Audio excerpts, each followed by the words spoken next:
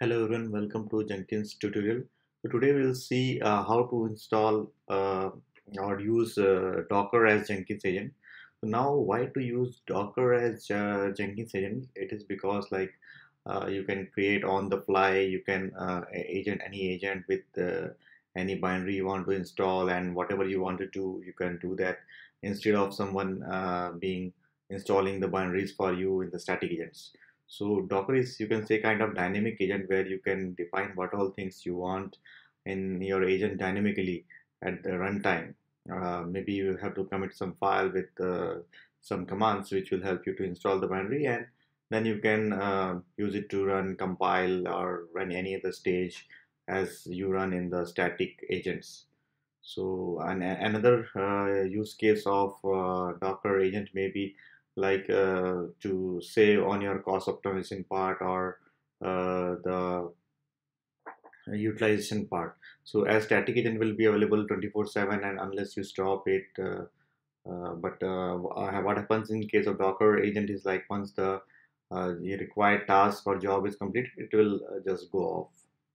And then the third benefit is like again Docker comes with the uh, namespace concept and various other concept where it utilizes only a portion of the VM and will not use all the VMs and it can segregate uh, from like uh, you can create various uh, Docker agents which can help you to segregate uh, the resources for all the agents and uh, whereas you can still use the same agent. Maybe the same agent can support three or four uh, Docker agents and maybe run your three or four jobs at a time. So it can help you save resources and the cost optimization part. So let's get started. We'll see how to do that.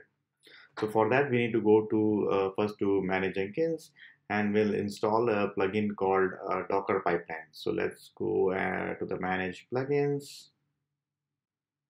Okay, so here it is. Just uh, click it, checkbox, uh, tick the checkbox, and then install without restart. And once it is done, you can just hit this one so that it restarts your Jenkins. Okay, cool, that's done. So now uh, just for information, like I have installed all the Docker prerequisites in the master uh, Jenkins. That's why I don't need to install any binary in the Jenkins and it will take care of all the Docker uh, runtime uh, CLI commands, whatever is required, or even the Docker runtimes.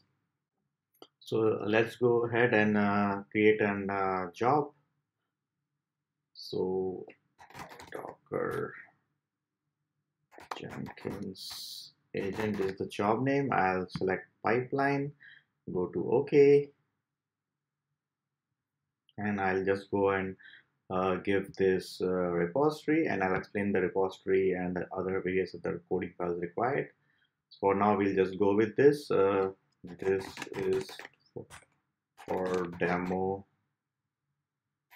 using Docker agent as Jenkins.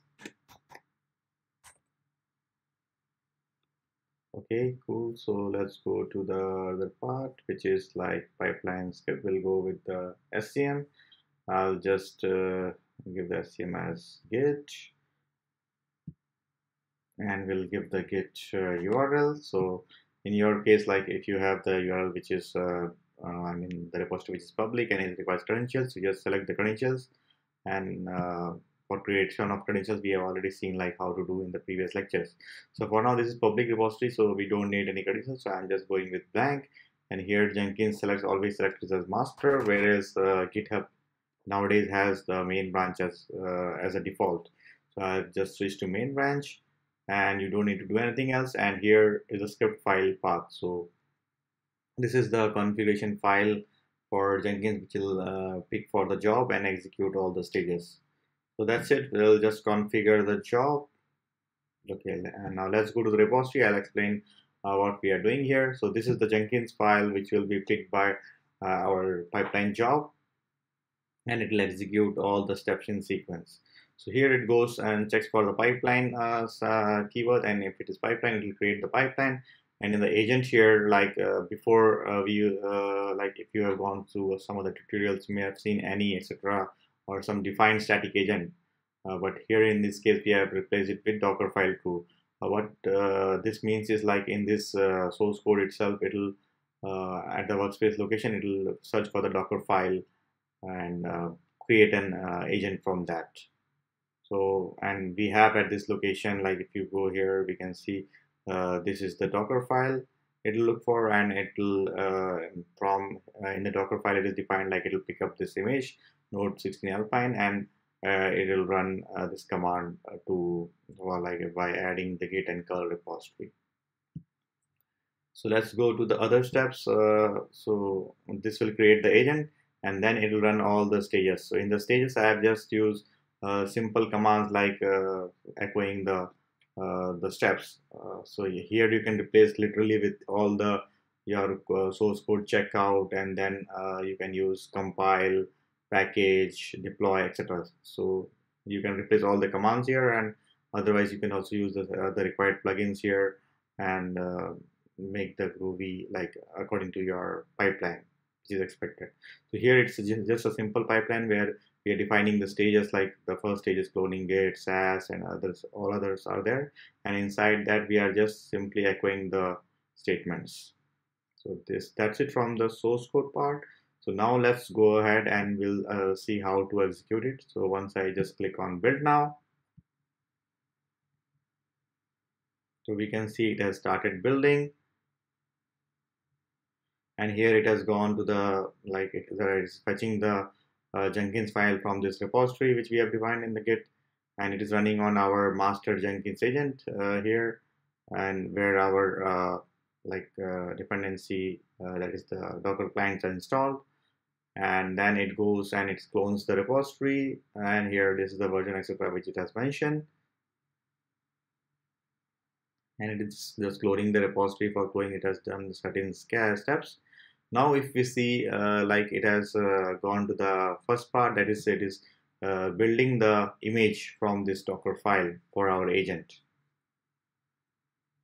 And once that is done uh, it is uh, doing a simple inspect on the uh, container or the docker agent created and then it is running all the steps inside the container if you see this step is uh, running your if you're familiarizing uh, with docker like what is docker and how to run that.